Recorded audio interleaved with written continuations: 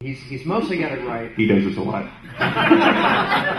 Okay, so the way way you normally do it, if you if you were to go down in the motion control days to image G, you would see a white, smoky white plastic hemisphere, and um, it was your star field. The inside of the hemisphere was painted black with black cell animation paint, and they had a PA or an artist with a, a needle prick through the paint the little little stars. It was a work of art. It's beautiful. It's a hemisphere because you put your your snorkel cam in there and it pivots any what away, you, you get these actual sweeps of a star field. So I thought, okay, we've got a big white piece of, of, of plexiglass. I'm going to do the same thing. I painted it with black latex house paint, and when I went to to try to scratch stars in it, you got cat claw scratches. It looked awful. But what I hadn't realized was I painted it quickly. I put it outside in the Alabama heat to dry. It had foamed. And when you pushed the camera in, and I mean pushed it all the way in to a quarter of an inch, the, the lens was a quarter of an inch. It was almost touching this piece of plexiglass. The foam looked like galaxies. It was the most gorgeous thing you had ever seen, and it was one of those things where I said, "All right, I'm going to turn." I, I backlit it. I turn out the lights in the studio. I'm going to I'm going to do my artwork. I'm going to start scratching. The scratching isn't working, but I start to notice these tiny little microscopic dots. I thought, I wonder. And we put the camera on the dolly, dolly forward, and it was it was gorgeous. And that's what we use to this day. I still have it. I stole that piece of plexiglass from the place where I work, and it's in my garage now. Anybody seen Terminator 2? But thank you. Yeah. You know, there's a there's a scene where uh, the T1000 walks through the um, the metal bars of the jail or whatever it is, and you hear that sound in the background as, as he's walking through it. And the um, sound designer had to come up with that sound for that. He was feeding his dog one night. Put up the can of dog food.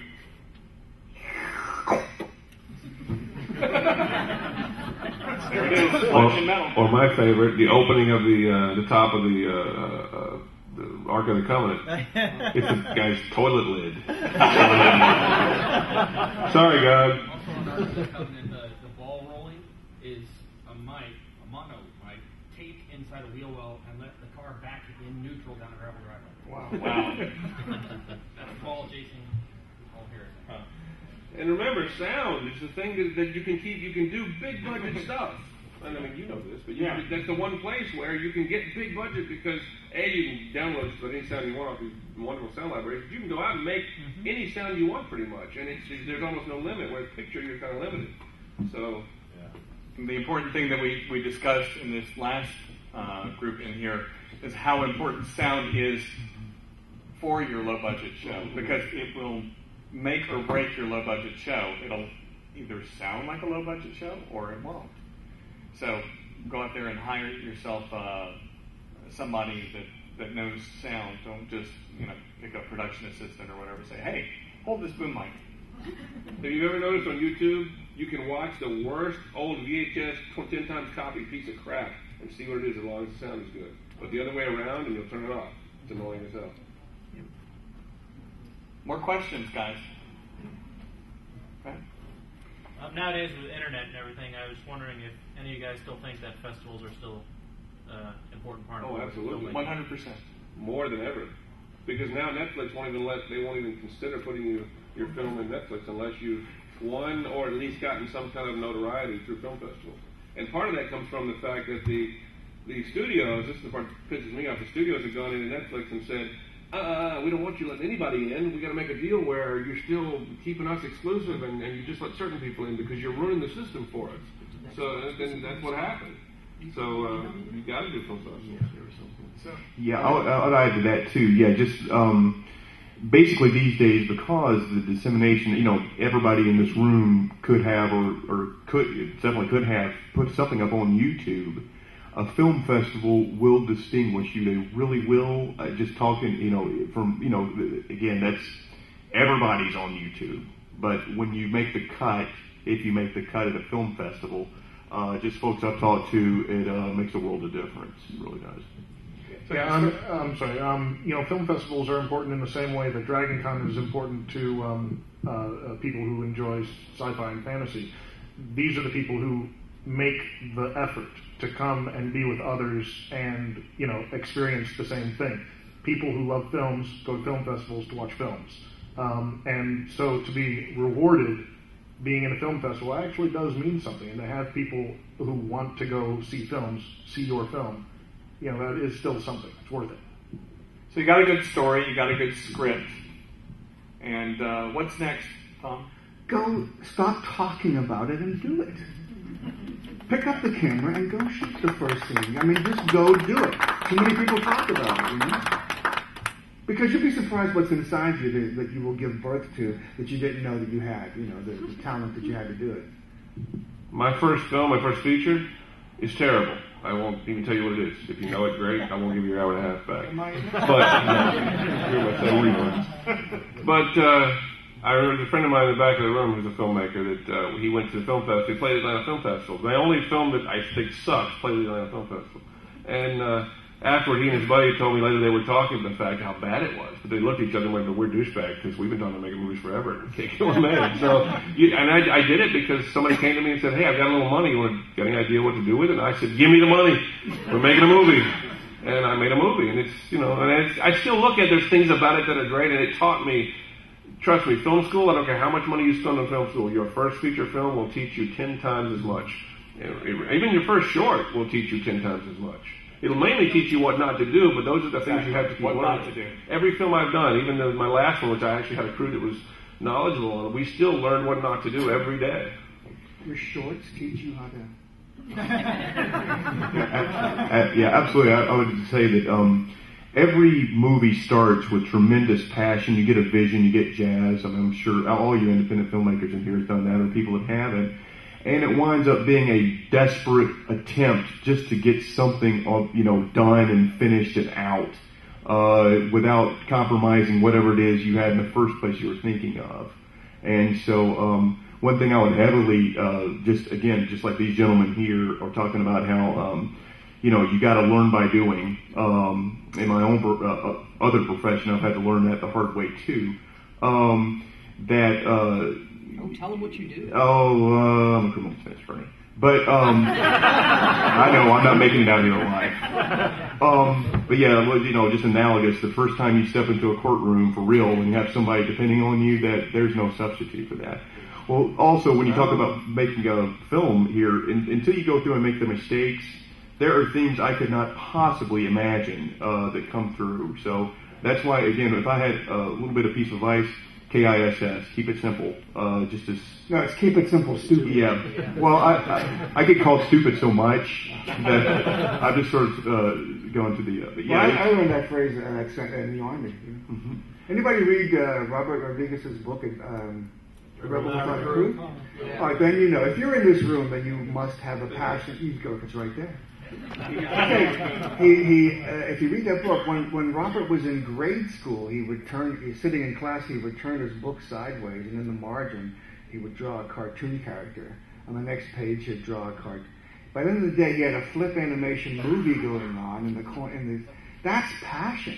I mean, the people that I know that are really successful in this business had that passion when they were little kids, you know, and, and it grew into that. I mean, this is before, I mean, writing in his book was before his Super 8 camera and then before video, and, you know, now he's got, you know, uh, but that's the passion, I guess, is my point is, it's a, it's a, uh, you have to have the passion, you know.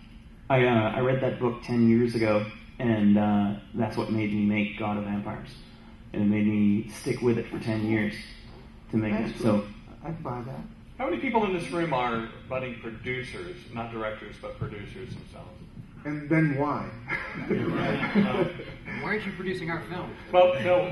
What I said in the last uh, in the last panel was, if you're producers, find a director that you want to work with. Find somebody. Craigslist is great. You know, find a find a director. You know, find a DP that's in school. You know, you can you can uh, get a DP that's that's in school that wants to work on a project that probably doesn't have the creativity that you do as far as filmmaking or storytelling. Guys, look up, use Craigslist, use uh, Classifieds, use Facebook, whatever it is that you can, and just get together. Start working with a whole bunch of different people that have different goals, but the, the central goal is all to make a movie. When we did Loaded Dice in uh, Pittsburgh, My DP was a, a guy who just got out of, out of uh, uh, Art- Art Institute, and he had no reel to show. He just had a like I think a music video maybe that he did. But I could tell the guy was like really into what was going on. And we had four lights, and this movie doesn't look like it has four lights. It looks like we had a lot of stuff going on. But you get five. And, oh, yeah, well, but uh, but no, I mean, but at the same time, we had a he, this guy brought with. He shows up on the first day with, and we brought up the lights, and he he's got with him gels and and uh, and diffusion and flags and all this stuff that that made life easy. And then you got to find somebody with that mentality. And once you've got it, I think Brad Garrett, he doesn't need talking people. about Bill Burton. Oh, well, I've worked with Bill several Yeah. times. There's a long, long story, bunch of stories there. you remember Bill from Bloodbath, the DP? Well, oh, well, Yeah. the, the shots looked like they were shot in the bathroom with a flashlight. Well, sometimes seriously, You said that, good. not me. Well, how about this? What is the? Um, this is a question I ask a lot, and I think it, it, it's relevant here. What is the one resource you guys are having the hardest time coming by?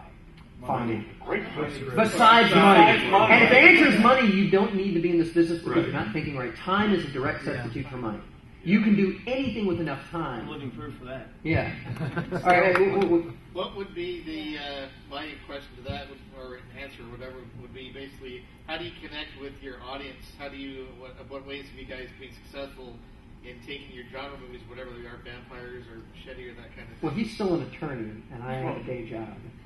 You mean, you mean what, within, within making the movie to connect to the audience? What uh, what method once you have the movie done do you use to Oh. best connect with? Be creative. There's no one Okay. way, but there are venues.